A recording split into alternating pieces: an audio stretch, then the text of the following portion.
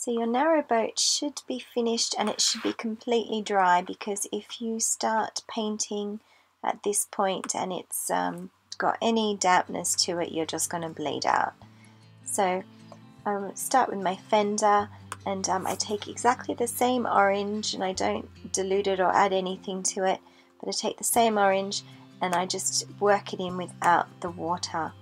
Then I take a bit of brown and I add some brown up um, at the top for a bit of depth.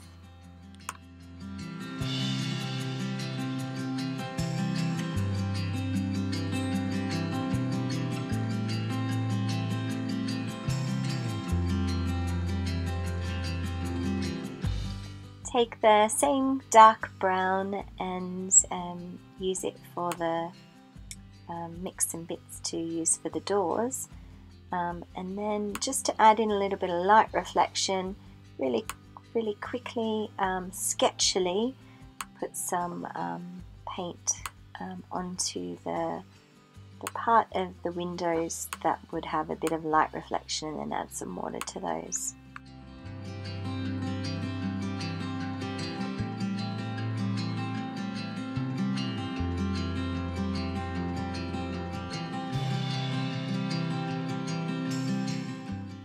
Adding in a bit of an outline here.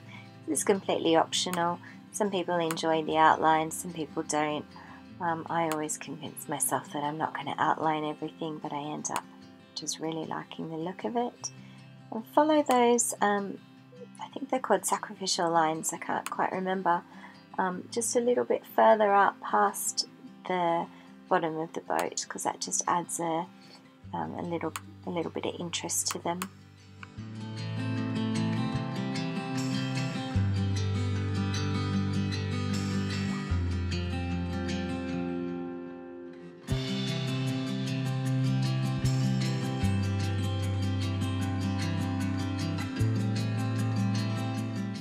So just going to mix a, uh, just a, a shade um, that might look like a grey shade uh, up on the top of the bulkhead and, um, and just lightly dab that around when you think that that's created enough, enough depth.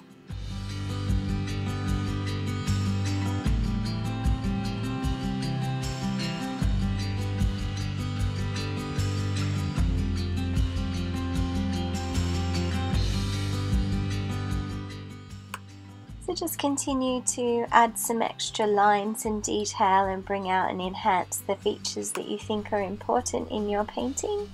And then when you're happy with it, that will pretty much be the end. Hopefully you've enjoyed this little tutorial on how to make a narrowboat with some blue dragonflies. If you have liked it, give us a like and subscribe and um, maybe comment below if you have tried this at home or if you are painting another project, let us know about it.